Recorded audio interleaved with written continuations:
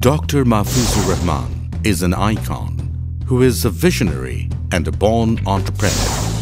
He saw a future in ready-made garment export in 1978. He started a factory in 1978. He made history by exporting knitwear t-shirts to Europe and thus became the pioneer. 1990s saw a revolution in satellite TV transmission. He grabbed the idea earnestly.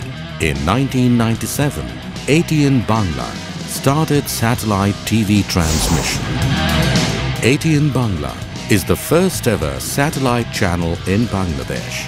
He is the pathfinder and pioneer of satellite TV channel in Bangladesh.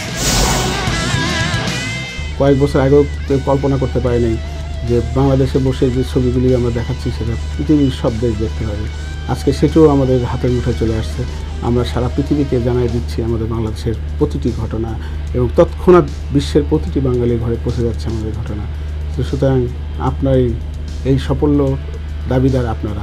আপনারা মনে করবেন ATN Bangla, আপনাদের channel. This creative person, named with Mahfuzur Rahman, has been known by whole of the world. London Executive School under London Media and Communication of London in the Imperial College was honored him given with doctorate degree.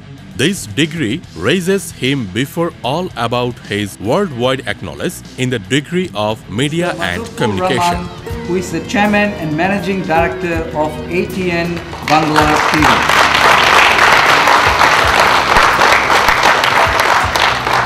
Now he is receiving his honorary doctorate in media and communications. And also he has been one of the few Asians, if not the first, to have received the prestigious Emmy Award. So we congratulate him.